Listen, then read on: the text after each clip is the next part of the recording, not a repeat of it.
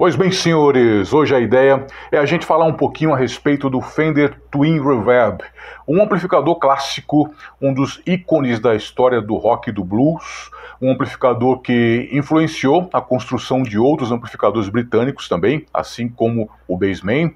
É um amplificador que, infelizmente, está se tornando não o próprio amplificador, porque isso é eterno, né? O tipo de timbre que ele tem, o uso que a gente vai ter disso em estúdio é eterno, mas o uso do Fender Twin Reverb prático está se tornando obsoleto e não é difícil entender por que isso. Eu vou falar um pouquinho também sobre esse assunto aqui durante o vídeo tá? Então fica por aí. Para você que chegou de fora, cara, que não conhece o canal, deixa eu te explicar para você saber se quer ficar, né? Aqui eu não vou mostrar o amplificador aqui. Isso aqui é um canal de discussão, um canal de conversa. Então a ideia aqui é, eu vou contar um, alguma historinha do que eu passei já com esse amplificador, o que é que eu acho dele, qual a historinha dele, qual o uso do amplificador, e a gente vai discutir sobre isso nos comentários. Tá bom? Se te interessar, fica por aí que vai ser bem legal.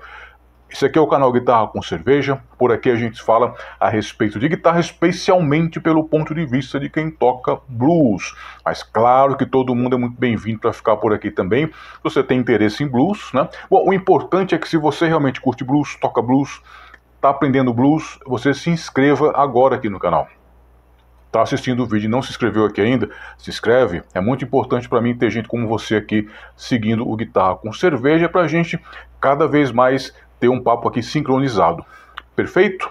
Esse canal aqui é financiado por e-books, e-books de curadoria de repertório, que são muito bons para você que quer estudar blues, que quer entender mais de blues, e facinho, facinho. Você segue para a lojinha de guitarra com cerveja e vai estar o link aqui na descrição ou aqui em cima. Você vai encontrar os e-books que são quatro e-books ao todo.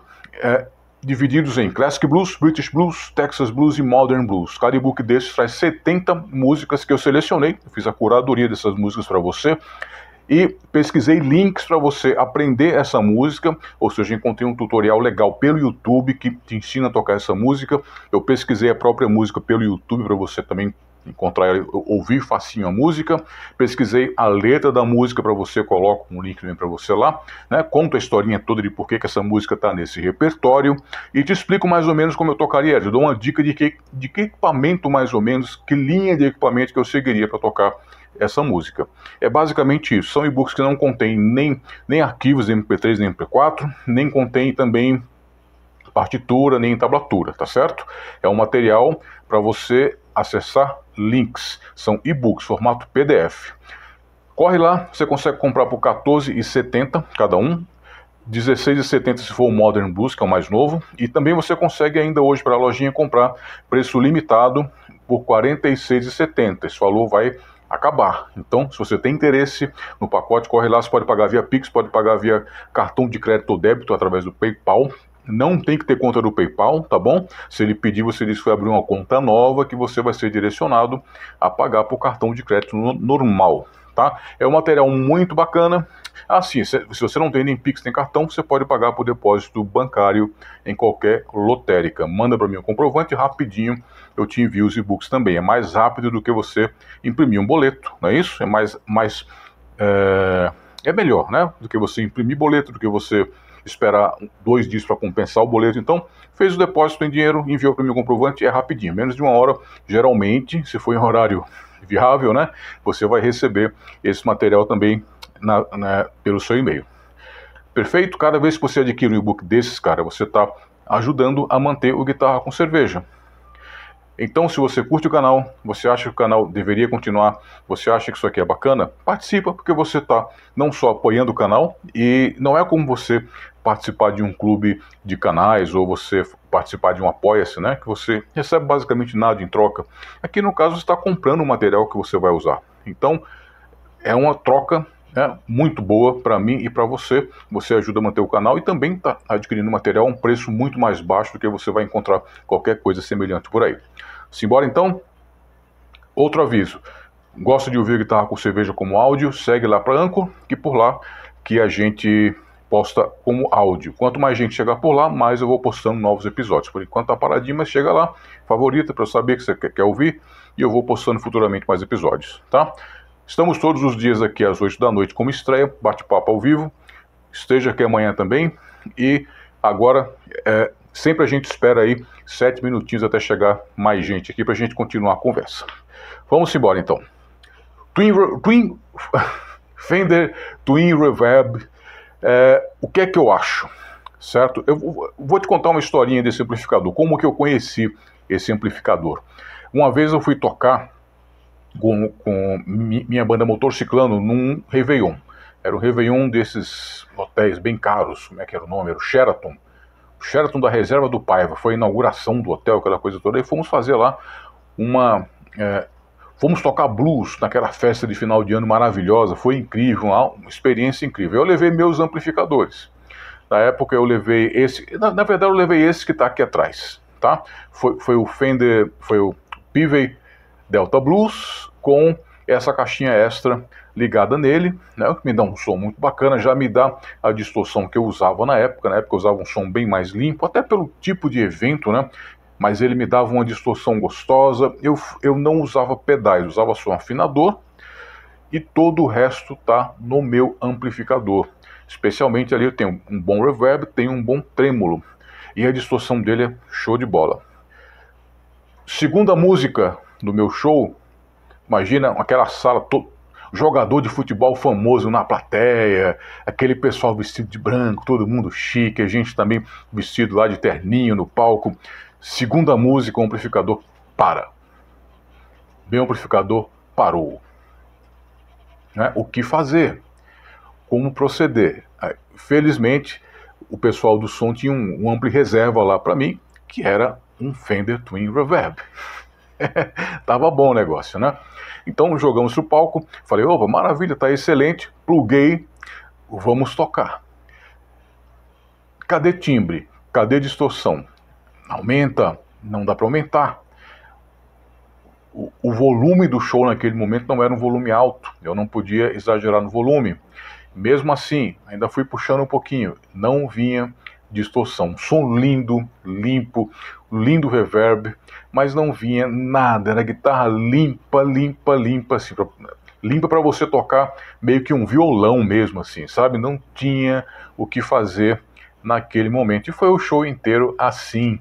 E eu sempre gostei da guitarra mais limpa, mas não aquele limpo, não aquele limpo tão limpo, né? Foi essa esse foi o meu primeiro impacto ao, ao tocar com Fender Twin Reverb. É um amplificador que justamente é, o melhor uso dele é esse, ele foi feito para ser usado como um amplificador limpo. Né? Se eu soubesse que queria usar um Fender Twin Reverb, eu teria levado os meus pedais. É um amplificador fantástico, especialmente até se você quer usar um amplificador como distorção, ele funciona assim. Muita gente diz que não, mas ele funciona. Ele, você consegue distorcer um pouquinho ele, especialmente no canal vibrato. Eu já vou explicar isso para você também. Dá para tirar um excelente som desse amplificador, mas não nessa condição, não mantendo ele baixinho, não eu sendo pego de surpresa e não sem ter alguns recursos ali de pedais, especialmente para a gente tirar um som um pouco mais moderno, né? Porque basicamente o uso desse amplificador se tornou um padrão exatamente nesse ambiente, nesse ambiente de palco, no qual você vai ter vários artistas que vão chegar lá e tirar um som, cada artista com seu timbre, cada um com sua pedaleira. Se, se tornou um padrão você ter amplificadores na linha do Fender Twin Reverb ou qualquer coisa muito parecida com ele, mas eu acho que o padrão, padrão mesmo, assim, se você não tivesse alguma coisa sua específica que você fosse pedir, você iria encontrar numa boa equipe de som Fender Twin Reverb, justamente por causa dessa característica de ser um ampli muito limpo. E ele é muito limpo e é um ampli que, para você atingir alguma distorção dele, você tem que aumentar, como qualquer amplificador valvulado, quase no talo. E nesse caso, como um amplificador de 85 watts valvulados, você imagina que esse talo fica um pouco longe, né? É muito volume até você atingir alguma distorção. De maneira que, beleza, se você tiver num show é, entre aspas, de arena, né, num ambiente que você pode tocar bem alto, as pessoas estão dançando, você está ali com 300, 400 pessoas, pode ser que você use até dois dele, joga no talo e você vai até conseguir um timbre muito interessante trabalhando buscando essa distorção dele. Mas não é exatamente o amplificador que eu usaria para isso. Ele serve muito mais como aquela máquina clean mesmo. Aí deixa eu contar um pouquinho da história desse, desse amplificador. Fiz algumas anotações para eu não falar muita bobagem aqui hoje. É, não é um amplificador que eu tenha assim tanta intimidade com ele, mas sim, eu conheço bem, é um amplificador que, como, como eu disse, eu já, já, tive chance de usar não só essa vez, como outras vezes também, e é um grande amplificador, é um amplificador histórico realmente, que vale a pena. Quem tiver uns 20 mil sobrando em casa, compre aí pelo menos essa reedição, que é basicamente o que eu estou é, sugerindo aqui, é o que eu estou dizendo, é o, é o ampli de base que eu vou usar para algumas coisas que eu vou dizer aqui. Por que, que eu estou dizendo isso? Porque existem várias versões de Twin Reverb. Primeiro, a gente não pode confundir simplesmente com o Fender Twin. O Fender Twin ele surgiu em 1952. Era um amplificador de 25 watts, duas válvulas 6L6. Era aquele formato bem parecido com esse meu amplificador aqui, tá? É, é aquele bem quadradão com o formato TV, né, que o pessoal chama, sendo que com dois falantes de, de 12 polegadas da Jensen. Esse amplificador é a base para o que seria depois o Twin Reverb, que iria, na verdade, ser chamado, chegar nesse formato que a gente conhece, em torno de 1965.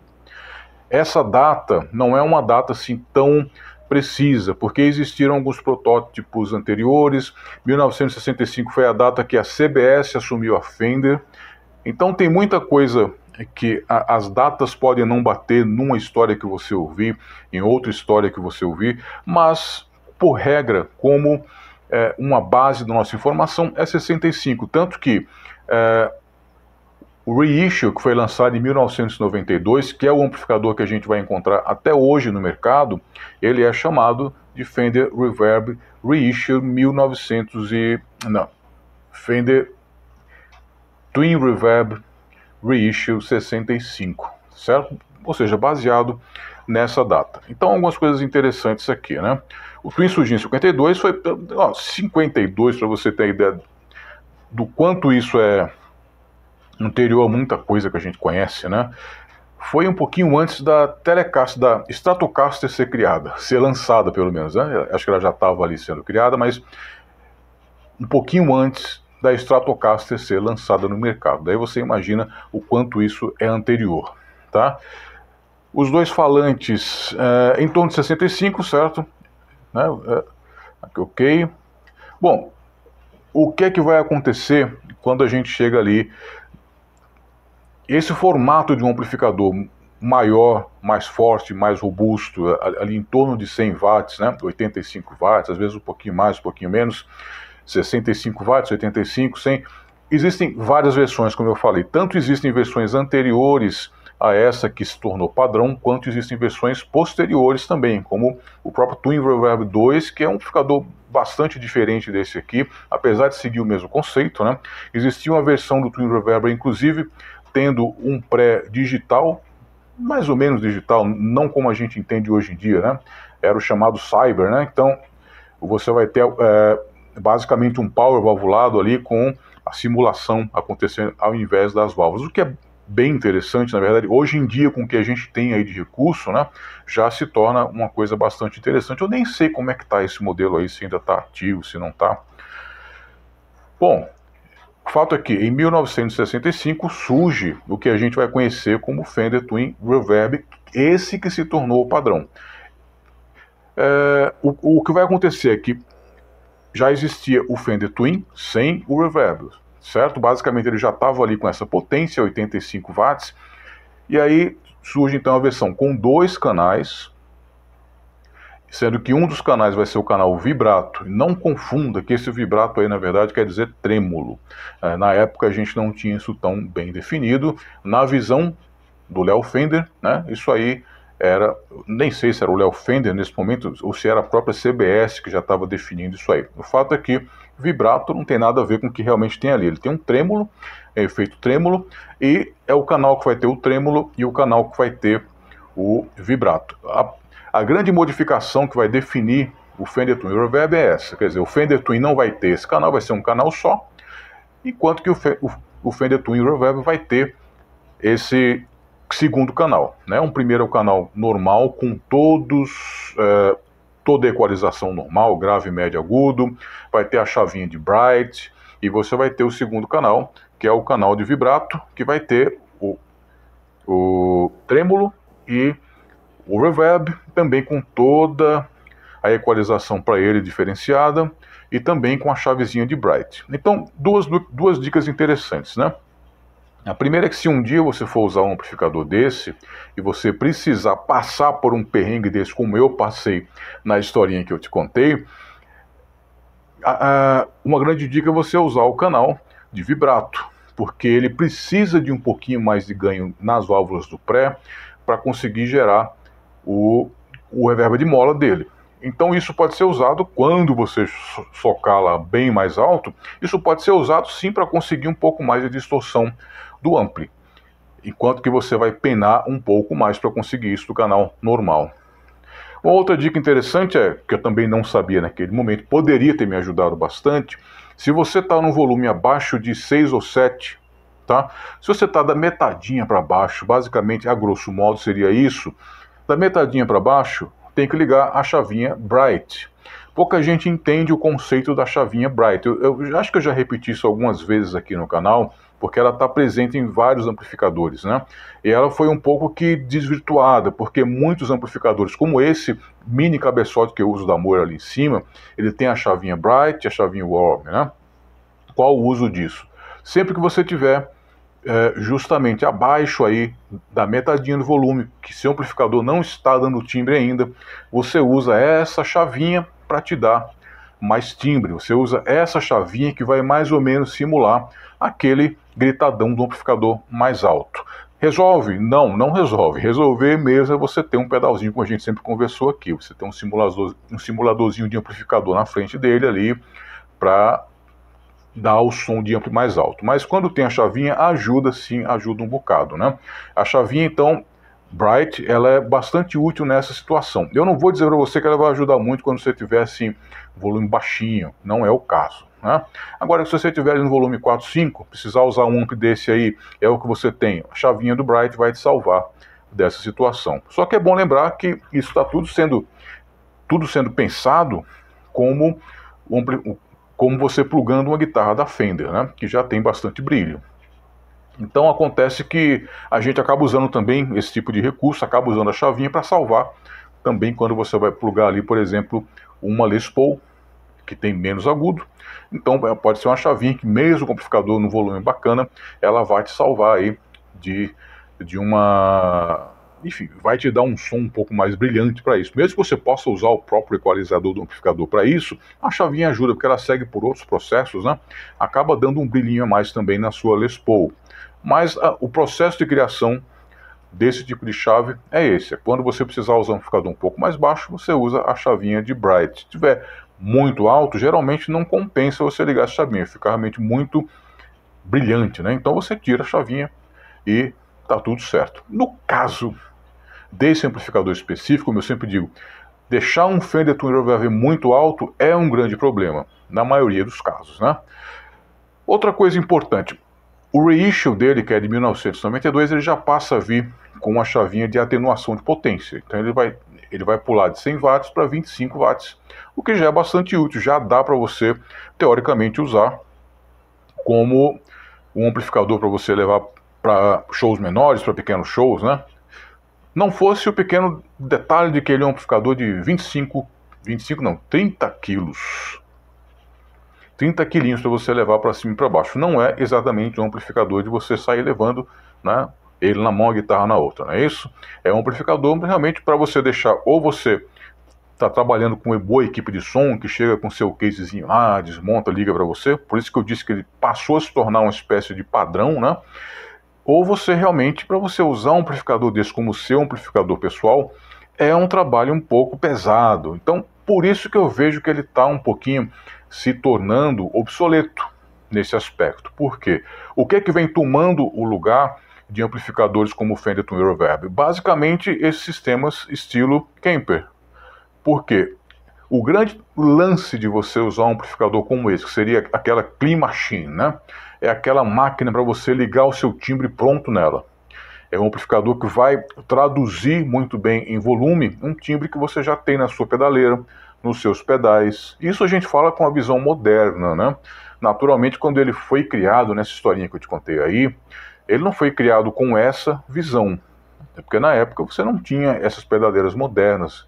Só que hoje em dia, e a partir de 92 ele passa a se tornar um amplificador muito usado nesse tipo de contexto, justamente por isso, por te entregar esse paredão de som limpo, no qual você pode ligar o seu som. Você vai, você vai ver que ali 90 e pouco já é quando começam a surgir as, as primeiras boas pedaleiras mais digitais, né, que já tem um som um pouco mais pronto, quem tinha uma grana mais já tinha recursos ali que é, já serviam bem, ainda que não fossem como você ter um camper, como você ter alguma coisa assim, mas já tinha um bom timbre.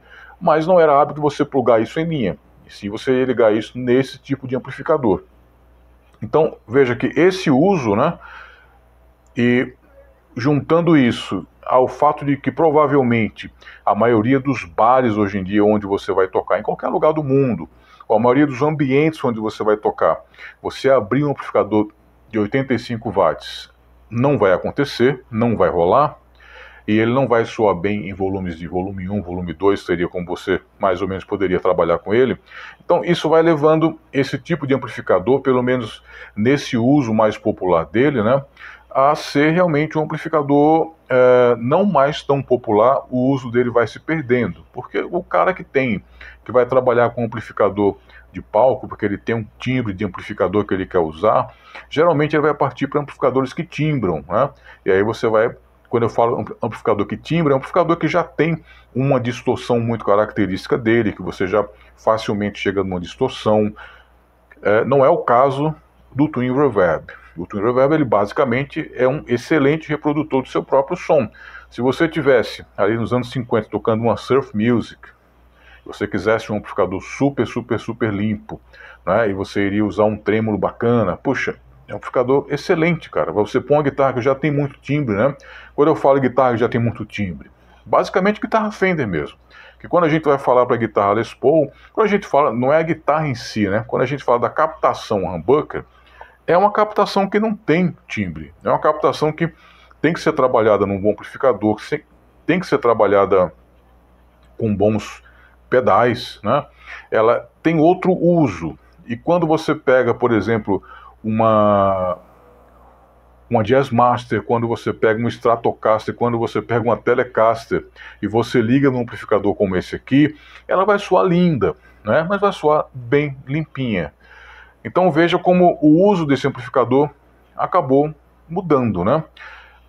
Só para, eu acho que isso já ficou claro, mas só para a gente deixar um vídeo que tenha essa didática aqui, qual seria então o uso próprio para esse tipo de amplificador? Seria exatamente o uso que você tem hoje em dia para esses sistemas tipo Kemper, ou seja, você ter o seu timbre formatado nos pedais, timbre que já tenha uma boa distorção, timbre que já tenha é, toda a característica que você quer, pode ser uma pedaleira ou pode ser os pedais mesmo.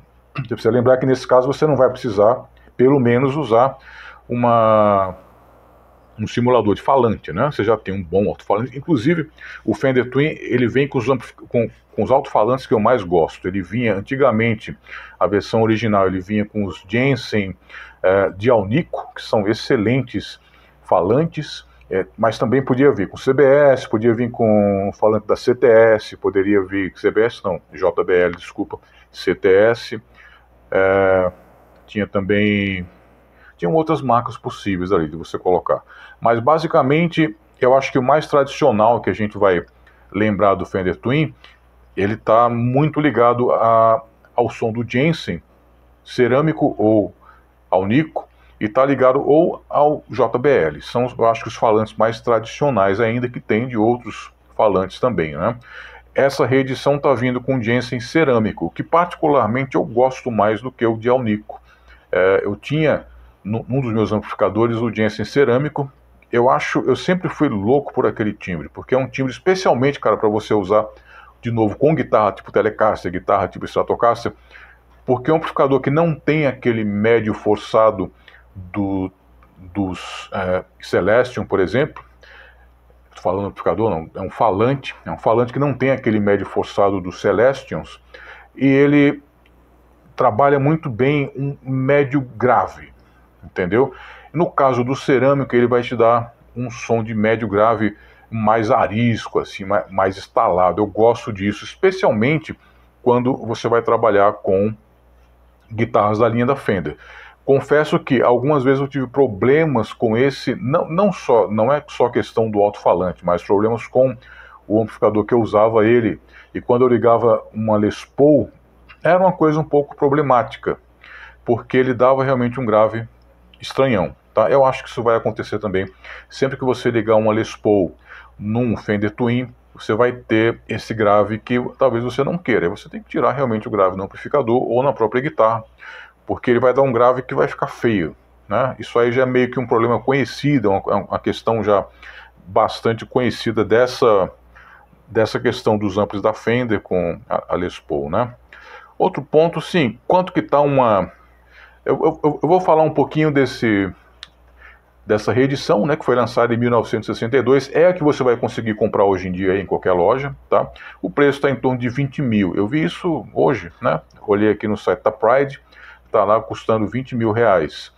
É caro, né? mas é um caro que você sabe que nesse caso é, é realmente um amplificador histórico.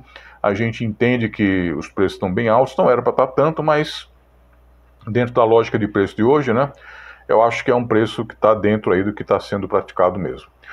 Não, eu, eu, achei que poderia até custar mais, tá? É um baita amplo, você vê que já é um amplo que vem só de já vir com os falantes da Jensen, de não vir com aqueles falantes da Fender, né? Que eles fazem lá uns falantes custom, que é feito na China. nem sei também, parece que esses Jensen também são feitos na China hoje em dia, né? Mas continuam sendo Jensen, tá? Tem uma característica bem própria deles. Eu sei que tem gente que prefere, né, outros falantes aí, tipo Vintage 30, né? Mas eu acho o Jensen um clássico e especialmente para sons de guitarra Fender com ampli Fender, eles funcionam fantástico, né? Continua com 85 watts, né? Uma coisa interessante dessa reedição é que era para ser uma reedição limitada. Era para ser lançado só 300 cópias desse amplificador e pronto, né? Era só para meio que comemorar a existência dele, né? acabou que se tornou, é, ele ficou tão popular, teve tanto uso, eu acho que especialmente, repetindo, né, por causa dessa época em que as pessoas começavam a ter, então, mais recurso de efeitos digitais e tudo mais, eu acho que se, se tornou meio que uma mão na roda para palco, palco grande, você ligar dois, três desses aí para o cara tocar e ligar os pedais dele, né? Especialmente, imagina, festival que você tem quatro, cinco bandas, festival pequeno, né? Banda grande leva tudo, mas tipo banda menor, né? Pessoal pequeno, aqui mesmo em Recife, muito palco aí que você vai ver que vai tocar três bandas de forró. Você tem lá quatro Fender Twin para tocar banda de forró. Nada contra forró, mas é engraçado, né? É engraçado. Então, é, se tornou uma mão na roda, acabou virando um padrão, realmente acabou que ficou, tá até hoje aí, né? Era para ser uma coisa de, de 300 cópias, se tornou aí uma, uma um produto de catálogo até hoje rolando aí. Você pode comprar novo, né? E com preço de novo. Porque se você for comprar essas coisas, cara, antigas, né? Vintage, claro, é uma coisa importante colocar. Sempre que a gente fala desses amplificadores clássicos, a gente sabe que o, o, clássico mesmo, né?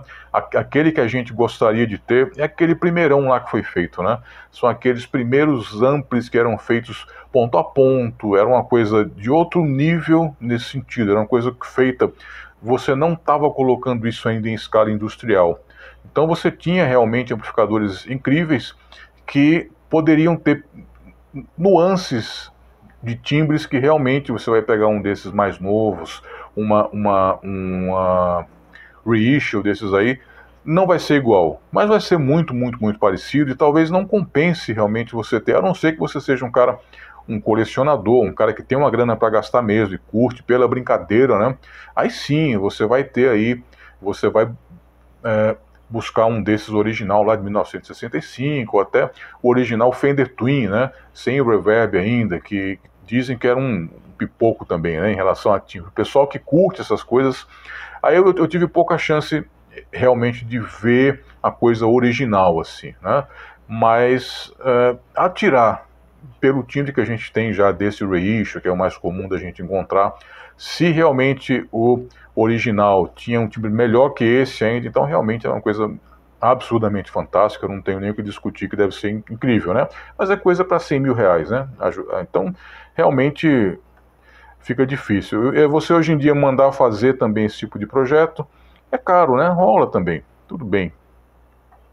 Então, como eu disse, ele é, é um amplificador que tem se tornado um pouco, tem, deixa eu ver como é que estamos de tempo, tá? Bom, já estamos no final do tempo, na verdade. Deixa eu matar só isso aqui. É um amplificador que tem se tornado obsoleto por essa questão tá? Porque pela chegada do, dos equipamentos para você ligar em linha, o uso de um amplificador para você simplesmente jogar o seu timbre pronto, que era o uso dele, caiu, né? Especialmente nesses palcos de médio porte, é o que a gente mais vê. Nos palcos de grande porte, eu acredito que ainda seja é, importante você levar um amplificador seu. Né? O cara que tem um trabalho, ele vai levar alguma coisa assim, vai levar seu próprio sistema, os cabeçotes ligados ali por, por um DI especializado, alguma coisa assim, tá bom?